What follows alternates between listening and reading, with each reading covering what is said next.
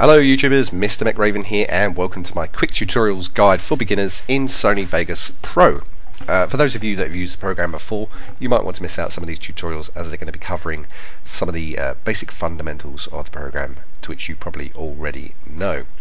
However, if you've come here and you've never used the program before and you feel a little bit intimidated by all the options and windows in front of you, then uh, there's no need to panic. Uh, if you watch some of my tutorials, uh, you'll get a basic understanding of how the program works, and in no time at all, you'll be producing uh, your own little videos, uh, either from your home clips or gaming clips that uh, you've managed to produce. So if you're looking to get started in Vegas and you want to make your own little project videos, uh, here's a good place to start. So I'm using Sony Vegas Pro 9. You could be using version 10 or 11. It doesn't matter because the layout and the way that Sony Vegas works hasn't really changed much throughout the versions. So everything is applicable here as it is in newer versions. So the first lesson is actually going to be about the workspace and some of the things you need to do before you can begin working on a project. And one of those things is understanding the windows that are open. Now on your version you might have a few more open windows than I have here. Uh, not to panic, that is perfectly normal. It all depends on how you have it set up. Now I have this set up very very basically but you can adjust uh, each of the windows to match your taste. So if you wanted to add, let's say, an audio mixer uh, to your window layout, you can by going to View, and uh, you can add uh, audio mixer. And there we have it, a little window which allows you to control the audio of the project. Uh, equally, you can get rid of it by clicking the X, as with any program, or you can add it back by just ticking it again from the View tab. Now if you feel comfortable and you have all the windows that you want and you have them all docked and you're quite happy with everything's way everything's laid out and you want to save that, you can do that. Window layouts, save layout as, and you can personalize it yourself and even add it uh, to a hotkey so that you can open it each time you open a program and have it however you like. You can organize your layouts, etc. etc. So self-explanatory there, but you don't have to do that. You can leave the program as is or you can adjust it. So if you want any uh, extra windows you can add them or take them away. Now each window is fully adjustable as you can see and you can adjust the height and width of everything so you can have a really big preview window if you like or really small so that's entirely up to you.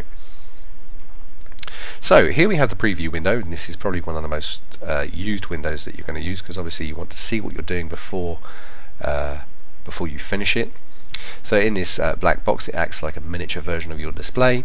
So all the work that you're doing down here will be displayed up here in a preview. But we're going to come back to the preview box uh, so you can understand how it works and how to best use it uh, according to the hardware that you have in your PC. We're going to get rid of this uh, mix box because we don't need it.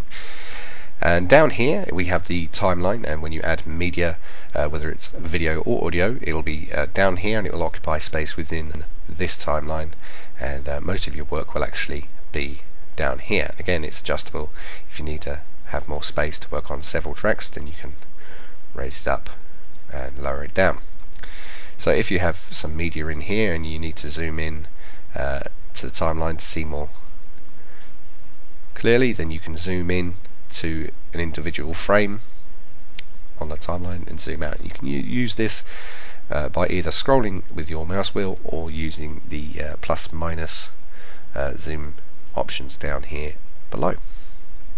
So that's the preview window, that's the timeline, and in the left here we have the uh, uh, the power tabs if you like. So on the first tab we have media generators and from here we can select texts, uh, color gradients, solid colors, test patterns, checkerboard, credit rolls. Uh, it will all vary from uh, what version of Sony you have. Some of them have more built in. Uh, this is only Pro 9 so it has only a few basic ones. So it's a few bits there that you can use but we're not going to go into how to use them just yet and the video effects as well. So all the different video effects that come built into the program are here. You'll notice uh, that if I hover my cursor above any of these effects then you will get to see a very small preview of what effect this will have if you added it. So let's take one that's stream newsprint. There we go. So there's a preview of what kind of effect it will have. So there's a list of uh, effects there and transitions. Transitions are what you use to go from one clip to the other. You don't have to use them, but you can do. As you can see in the preview there, this one undoes a shuffle and uh, there are many default uh, options available. And each of these transitions uh, and video effects are uh, fully editable. You can adjust them uh, to suit your project. Uh, next we have Explorer. You can explore any parts of your computer to obtain media, files, photos and audio, things like that and last but not least, uh, Project Media. Uh, within this tab, which is the one you'll probably be using the most, uh, is where you will have all the videos, audio, pictures and things that you'll be using throughout your project and any additional things that you actually create will be added here as well so you can reuse them.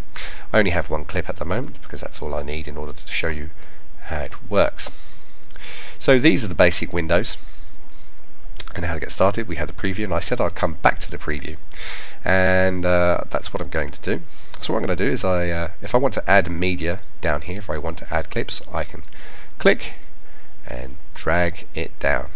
Now what I'm going to do is I'm going to move along the timeline so we can actually see. And as you can see in my preview window, I've got some, uh, I think it's cormorants, or I can't even, boobies, I think they're called, these birds. Anyway, it doesn't matter.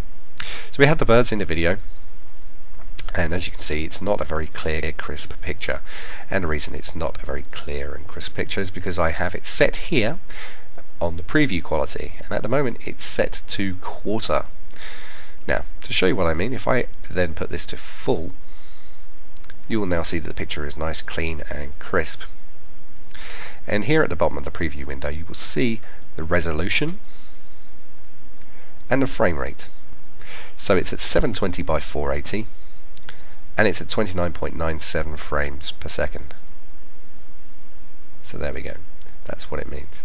So if I set it to full, it will be at full resolution, which is 720 by 480. If I go up to here and I click again to half, you'll see that the resolution in the preview drops to 360 by 240 and retains the frame rate. If I drop it down to a quarter, it will be quarter of the frame rate, uh, quarter of the resolution, and maintain the frame rate.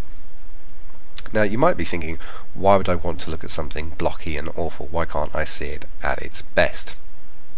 And the reason for this is when you're working on uh, large projects or even small projects sometimes, um, if you have uh, this at the fullest resolution, then it can slow down your PC if you don't have um, very high-end hardware. Uh, it all depends on how much you actually have going on down here in the timeline and how you have things set up but it does predominantly depend on your hardware. So if you have really good hardware in your PC then uh, you can select either full or half and uh, use the preview at those resolutions. But if you're struggling on a say a dual core or some older uh, hardware you might want to set your preview uh, to a lower resolution in order to work a bit more quickly. So that is what the uh, preview window is for you can also save, uh, save uh, snapshots. So if you have uh, an, a picture here that you want to keep and it uses a snapshot later on, uh, you can do so, uh, but we're not going to go into that. So that's an explanation as to how and why the preview uh, window is the way it is. So depending on how you want to work, you can either have it full resolution or let's say half. And depending on your hardware, it'll either work quickly or it won't. So if you're uh, editing down here and you find that it's working a bit slow and uh, it's stuttering, then just adjust the preview uh, to one or two points lower in the resolution and uh, should speed up. So another thing to bear in mind before uh, I finish this uh, tutorial and move on to the next is you'll need to set some preferences because sometimes programs don't always set up things how they should be. So if you go to options and you come down to preferences. What this will do is it'll open a tab and there's lots of tabs here um, where you can change all of your preferences but we're going to go to the video one. There's a couple of things here that you can adjust it in order to improve performance in uh, Sony Vegas depending on your hardware. Uh, dynamic RAM preview max megabytes. Now what this does is it allots a certain amount of memory from um, I believe it's from the video card uh, so that it can be used in this preview box. Now currently it's set at 350 megabytes and it tells me what is uh, available. So if you have a decent uh, graphics card with uh, high amount of memory, let's say uh, 3 gigabits of memory, uh, gigabytes of memory, sorry, then uh, you'll be able to set this higher. But remember, if you set this too high, you will start to have problems as well because uh, you need a certain amount of graphics memory uh, for Windows to run. So don't set this too high, but uh, do have a go at adjusting it uh, to see if you can improve performance using that. Uh, underneath this, we have maximum maximum number of rendering threads, and what this means is how many CPUs do does yours have. So if you have a quad core, you would set this to four and if you have a uh, 6 core you would set it to 6 but uh, in my PC I have an 8 core processor so I set it to 8 as it does use 8 threads. If you have a quad core uh, with hyperthreading uh, you can include those threads and you can add that up to 8 if you wish. So what this tells Sony Vegas is basically these are how many threads or how many cores I have that you can use in order to render uh, my videos. So adjust these two and um, if they're not set to a default um, then you can adjust these two to get better performance.